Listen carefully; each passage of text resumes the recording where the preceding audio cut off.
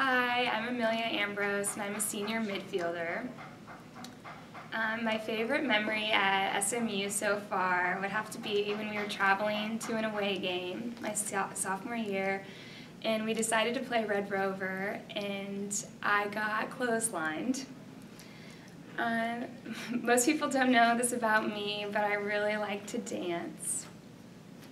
And um, if I could redesign Mount Rushmore, I would put Captain Jack Sparrow, Barbossa, Will Turner, and Commodore Norrington on it.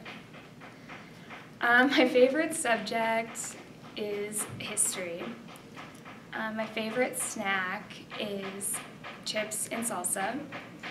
Uh, my favorite TV show is Breaking Bad, and um, I am very afraid of uh, centipedes. Oh, um, and I would really like to travel to Australia.